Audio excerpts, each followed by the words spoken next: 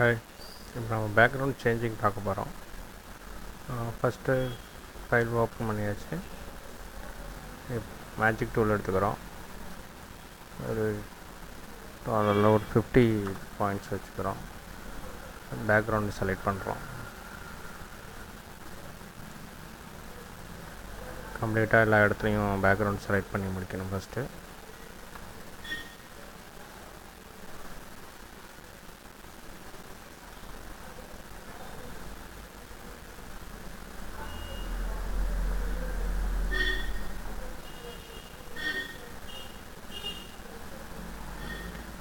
Right எல்லா இடமும் background select பண்ணிட்டோம். இப்போ கண்ட்ரோல் ஷிஃப்ட் ஆகி இப்போ நம்ம படம் மட்டும் செலக்ட் ஆகிடுச்சு control J layer via copy பண்ணிட்டோம். எக்ஸ்ட்ரா ஒரு லேயர் ஆட் ஆகிடுச்சு இங்கே. புதுசாக ஒரு பேக்ரவுண்டு ஃபைல் ஓப்பன் பண்ணுறோம் மூ டூல் வச்சுட்டு மூ டூல் செலக்ட் பண்ணிவிட்டு இந்த பேக்ரவுண்டை ட்ராக் பண்ணி விட்றோம்.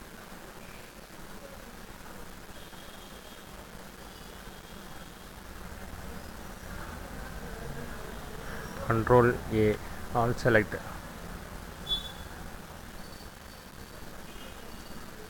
background layer ஃபுல்லாக அந்த இமேஜுக்குள்ளே வர மாதிரி செட் பண்ணிட்டோம். இந்த லேயர் ரெண்டாவது செகண்ட் லேயரை கீழே இந்த இமேஜுக்கு அடுத்து இறக்கி விடுறோம் அந்த ஹேர் டீட்டெயிலுக்காண்டி பேக்ரவுண்ட் லேயருக்கு போயிட்டோம். லேசர் டூல் எடுத்துகிட்டு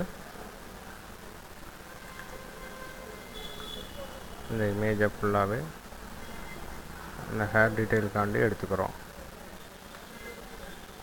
திரும்பி கண்ட்ரோல் ஜே திரும்பி இந்த பேக்ரவுண்ட் லேயரை வந்து திரும்பி கீழே இழுத்து வரோம் இப்போ அந்த ஹேருக்காண்டி செலக்ட் பண்ண லேயர் த்ரீயில் வந்து இந்த லேயர்ஸ்லேயே நார்மலுக்கு பதில்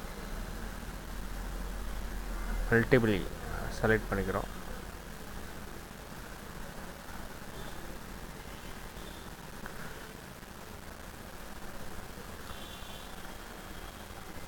இப்போ இந்த இடத்துக்கு வந்து நம்ம வாஷ் பண்ண போகிறோம் ஃபஸ்ட்டு இந்த மாஸ்க் போட்டுக்கிறோம். லேயர் லேயருக்கு கீழே. ப்ரெஷ் டூல் எடுக்கிறோம்.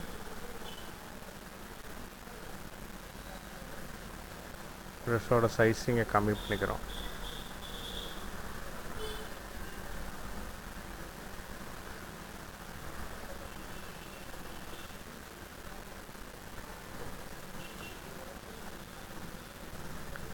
ரைட் இப்போ நம்ம இது அந்த இமேஜ் லேயரில் போயிடுறோம். ஃபஸ்ட்டு ஒன்றா நம்பர் லேயரில் அதுலேயும் இந்த மாஸ்க் போடுறோம். இந்த ப்ரஷ் இன்னும் கொஞ்சம் சின்னது பண்ணிக்கணும்.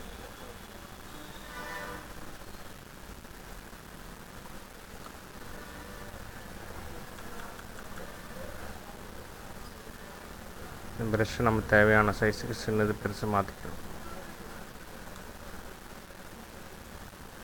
சரி எக்ஸ்ட்ராவாக இருக்கிறத எரேஸ் பண்ணுறோம் இந்த ஃபஸ்ட்டு கட் பண்ண அதே லேயரில்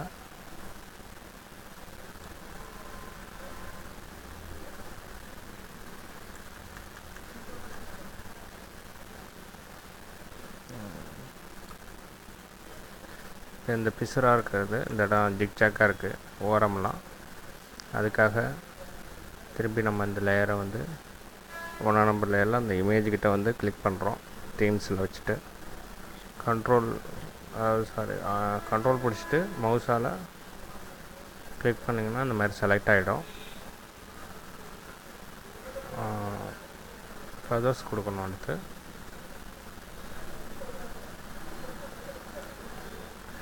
கண்ட்ரோல் ஆல்ட்டு ப்ளஸ் டி கொடுத்துட்டு டூ பாயிண்ட் ஃபெதர் கொடுக்குறோம். ஓகே இப்போ கண்ட்ரோல் ஷிஃப்ட் ஐ செலக்ட் பண்ணிக்கிறோம். Delete key one or two times கொடுத்துட்டு கண்ட்ரோல் டி கொடுத்தோன்னா அந்த சர்ஃபேஸ் ஸ்மூத் ஆகிடும் அவ்வளோதான் இந்த பேக்ரவுண்ட் வந்து நம்ம வேறு பேக்ரவுண்ட் சேஞ்ச் பண்ணிக்கிறோம். இது மாதிரி எந்த பேக்ரவுண்ட் வேணாலும் நம்ம வச்சுக்கலாம். ப்ளைன் பேக்ரவுண்ட் கூட வச்சுக்கலாம். நியூ லேயர் போட்டு நமக்கு தேவையான கலர்ஸ் எடுத்துக்கிட்டு பக்கெட் டூல் எடுத்து ஃபில் பண்ணிங்கன்னா இந்த மாதிரி ப்ளைன் லேயர்ஸ் கூட வந்துடும் இது மாதிரி உங்களுக்கு தெரிஞ்சிச்சுன்னா இதையும் திரும்பி இந்த நம்ம எரேஸ் பண்ண அந்த தேர்ட் லேயரில் போய் மாஸ்க் கிளிக் பண்ணிட்டீங்கன்னா ப்ரெஷ் எடுத்துக்கிட்டு எரேஸ் பண்ணிக்கலாம் அந்த மாதிரி.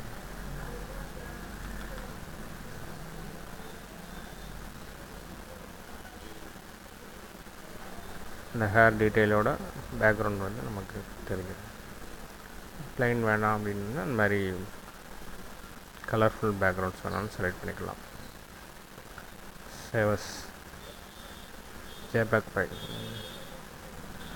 JPEG ஃபைலாக இருந்துச்சுன்னா உங்களுக்கு எது வேணாலும் எந்த ஒரு சாஃப்ட்வேர்லனாலும் ஓப்பன் ஆகும். Okay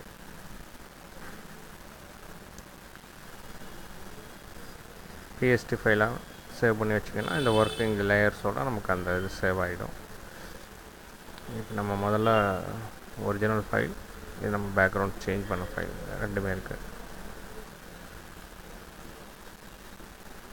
difference.